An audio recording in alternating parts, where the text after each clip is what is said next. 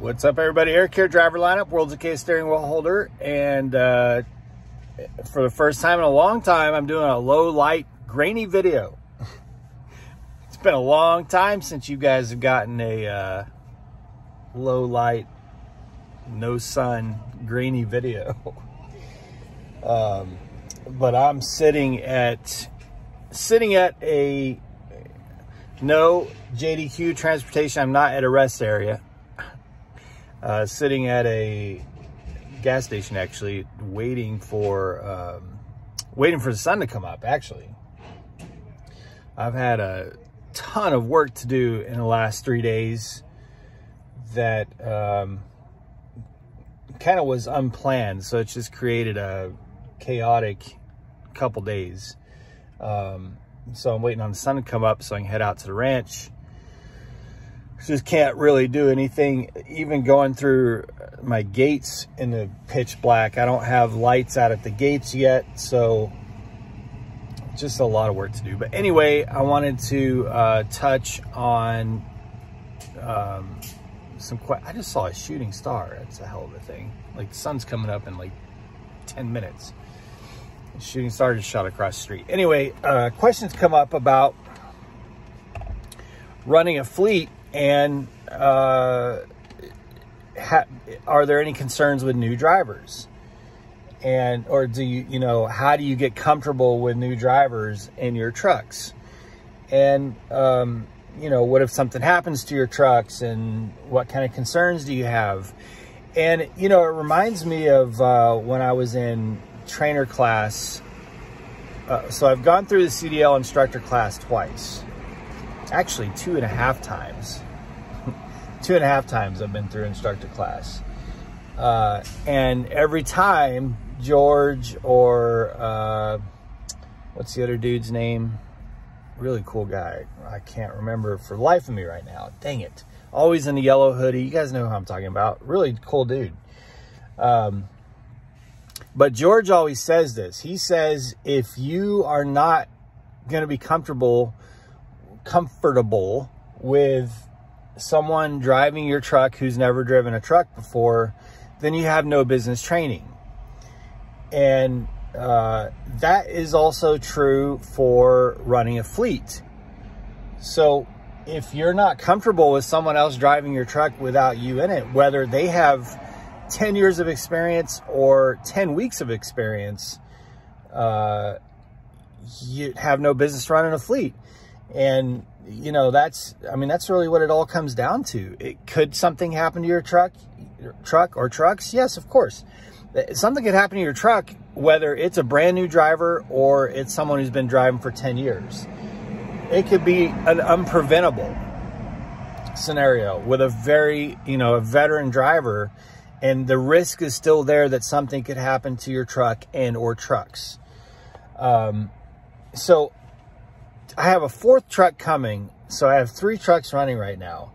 Two of the three trucks right now are being driven by drivers who upgraded into my trucks.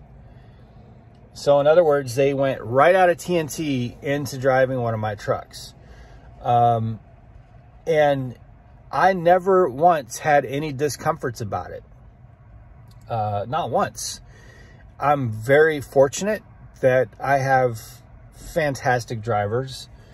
Um, one of them is a highway diamond. Well, I I don't want to mention too much about her, but because I don't know if she wants that to happen or not. But I'll tell you that she is an amazing driver. Like she, you know, uh, she's great. And my other two, the other two drivers are the ones who came out of TNT, and one of them has only been running my truck. I think he's on like his second or third load right now, but he's done just fine. The other one upgraded out TNT, and he's been driving my truck for I don't know, like six months probably, if I had to guess.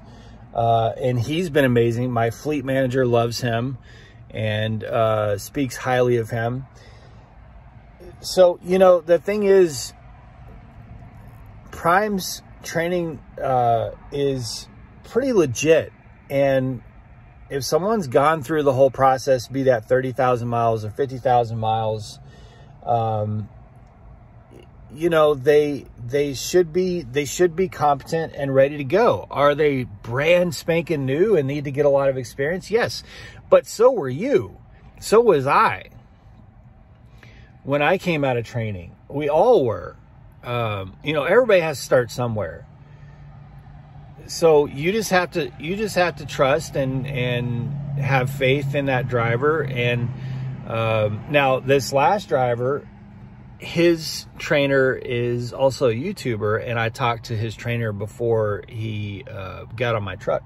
So i had you know a little bit of a reference there from his trainer saying hey you know obviously he's brand new but he's a great driver and he's ready you know like that that gives me some comfort and peace of mind. But even if i don't one of my other drivers i didn't i don't know who his trainer was um, so i didn't have any reference point but i knew that he uh, prime saw fit to upgrade him and that was good enough for me.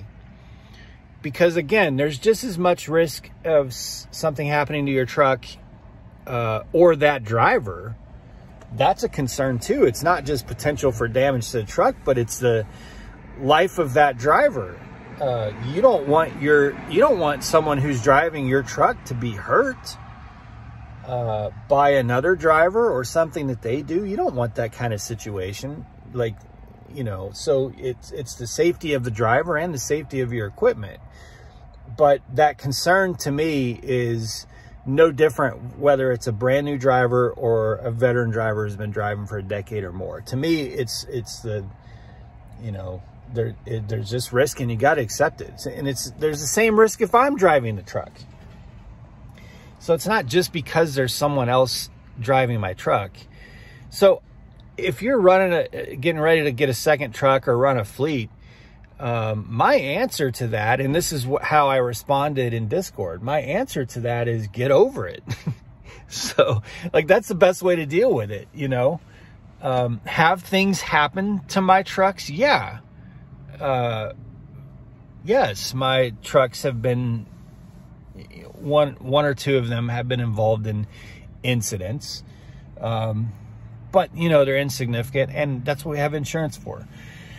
If there's significant damage or anything like that, you know, which fortunately there hasn't been, but I don't get concerned about that kind of stuff. Now, I'm fortunate to have uh, a lot of rods in the fire so I don't rely on, um, I don't solely rely on my fleet to take care of me. Uh, so, you know, I've got multiple, multiple businesses and multiple things going on. So I, I don't, I just don't stress about my fleet. Um, I rarely ever talk to my drivers unless they send me a message saying that the world is on fire like sometimes most of the time their messages to me don't even need a response you know like they'll just post they'll just keep me updated on things um, but i i rarely ever talk to my drivers I, jenna talks to my drivers more than i do so there's just kind of this trust factor and um, and i i pay my drivers way more than prime pays company drivers uh, and try to give them bonuses and things like that. So, you know, it's just, it's kind of a, you just can't stress it. You, you will, you will burn yourself up if you let yourself be concerned about things like that. If you, if you just go day to day thinking that's a brand new driver and am I doing the right thing? It's going to eat you up. Uh, you can't think about that and again, it's no different than there being a 10 year driver. There's, uh, there's potential for something to happen. So, um, that's my answer to that is not, is no, I don't worry what whatsoever. None. Now I will have a conversation with the driver before they become my driver and just get a feel for them. I've turned down probably 10 times as many drivers as I've accepted um, just because there's something in the conversation, there's some concern, there's maybe they aren't that serious about it, you know, smoke too many packs of cigarettes a day, uh, want to move a whole family onto my truck, you know, whatever the reasons may be, there I've there's been way more. I had probably that I can think of about 12 drivers reach out to me about my latest Freightliner that I have on the road. Um, and it, for one reason or another, just didn't feel right um, until I finally landed on this driver. So it, you know, there's a plethora of reasons that the driver wouldn't work out. But what is not one of them is is that driver brand new out of training. That is not that is not a disqualification whatsoever to me. Um, because those drivers are, you know, you have to trust the process. You have to trust the system. If if I were if I were TNT training right now, and I'm going to get in the bed and go to sleep while a driver's driving my truck before they're upgraded, then I'm certainly going to trust the driver to drive my truck after they're upgraded, whether I'm in the sleeper or not. So hopefully that answers that question. Anyway, more to come. I'm trying to make as much as many videos as I can. It's just hard. I got a lot of things going on, but appreciate you guys being patient. Be safe, make good decisions, and as always, drive to thrive. Talk to you soon.